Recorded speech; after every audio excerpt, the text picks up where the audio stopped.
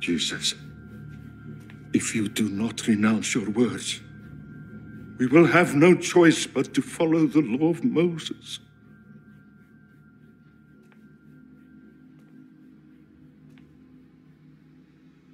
I am the law of Moses.